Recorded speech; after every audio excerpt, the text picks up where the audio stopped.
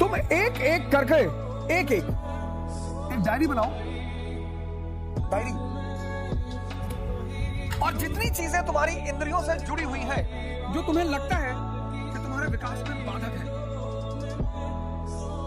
उनको छोड़ो।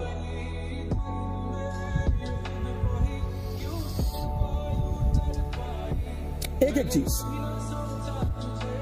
ज़बरदस्ती मत छोड़ो। ज़बरदस्ती मत छोड़ो। ज़बरदस्ती छोड़ोगे, तुम्हें कुछ भी फ़ायदा नहीं होगा। कुछ भी नहीं मिलेगा। क्योंकि आंतरिक रूप से कोई परिवर्तन होगा ही नहीं।